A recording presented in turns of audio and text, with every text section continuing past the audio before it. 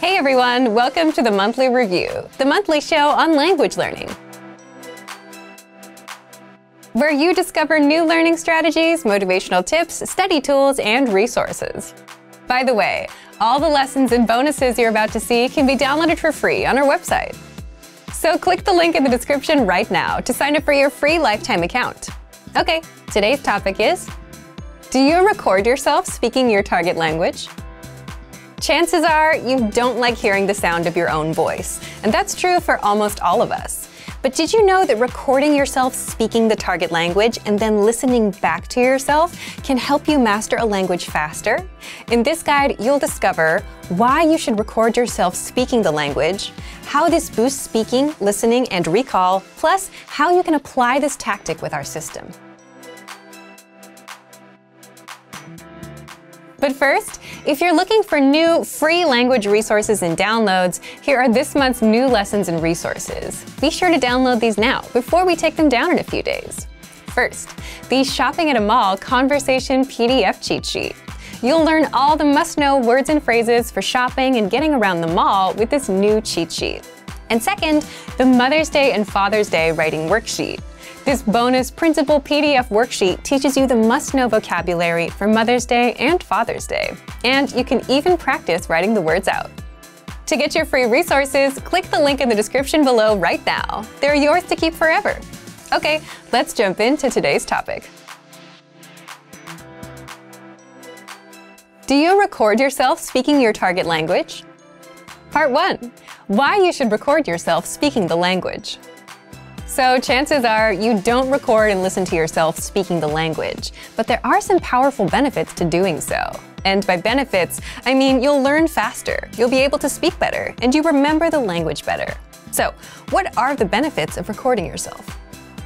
First and foremost is the obvious one, getting feedback. When you're learning a language on your own, you may not know if your pronunciation and speaking are on the right track. Or your speaking could be just fine, but you may be using words that aren't quite natural. The point is, it's hard to know what you're getting wrong. A native speaker can always help with that, but you probably don't have 24 7 access to one, right?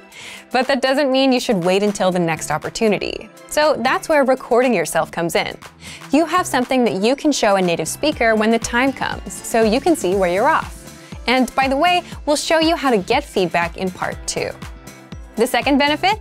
It's good to be aware of your speaking style. You may not be able to tell if your pronunciation is good or not, but you can easily tell if your speaking is slow, choppy, or unnatural. And that's something you can fix on your own, even without the help of a native speaker. Kind of like realizing you say a lot of ums and uhs in English. Third, if you record yourself and listen back, you're practicing both input and output, listening and speaking. So if you don't have access to a native speaker but want to practice speaking, you can get started right away. And even if you do have a teacher, you'll only be with them for 30 minutes or an hour per session, and your speaking practice time would still be limited. So this allows you to maximize your speaking practice time on your own time. And by speaking out loud, you get to remember the words and phrases better. And of course, if you listen to yourself, you're also practicing listening. Now, this is where many people would draw the line, because it's hard to listen to yourself, right? But that's where the fourth benefit comes in. Fourth, you improve your memory. According to studies, you tend to better recall things you've said over what others have said. If it's you saying it and not someone else, so it's personally relevant, it sticks better. And so it's kind of a double whammy. Saying things out loud helps you remember, and listening to yourself also helps you remember. So, if you want to practice speaking, listening, and improve your recall, you should try speaking out loud to yourself, recording yourself, listening to that recording, and of course, getting feedback if you can.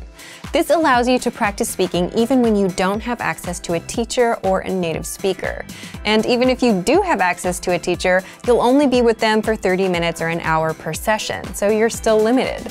So recording yourself allows you to maximize your speaking practice time on your own time. At the most basic level, all you have to do is pull out your smartphone, open the voice recording app, and record yourself saying some lines in your target language. But doing it once won't be enough. You need to make it part of your routine.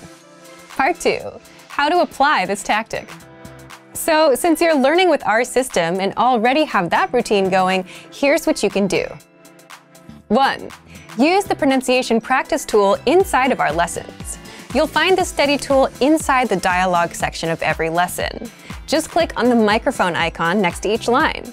The goal is to hear the native speakers say a line, repeat what they say, and then compare yourself against them, and do that for the entire lesson dialogue. You'll be able to practice speaking, listening, and sharpen your pronunciation as well.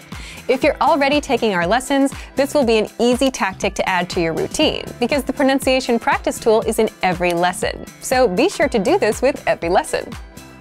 2. Take the hand-graded assessments. These Premium Plus assessments test you on writing and speaking. They're graded by real teachers, and you'll find them peppered throughout your recommended learning pathway. The way they work is you'll be asked to record a quick dialogue or speech as a way to test your speaking skills, and then our teachers will grade it and give it back to you. So this is a great way to practice speaking and get corrected at your own pace without having to find a teacher. You can also retake the assessments for more practice or to try and get a better grade. 3. Send recordings of yourself speaking to your Premium Plus teacher for feedback. And you can do this with the Premium Plus Messenger on the site or on the app. Your approach here is up to you, but the learners that get the best results are the ones that create routines for themselves. For example, we have learners who recite the lesson conversation out loud for every lesson they do and pass that on to their teacher. Then there are learners who send three recordings a day one in the morning, one during the day, and one during the evening, just talking about their day. Then some just recordings of their example sentences from the grammar rules they learn. If you're not a Premium Plus member, you can use your smartphone to record yourself and ask a native speaker for feedback.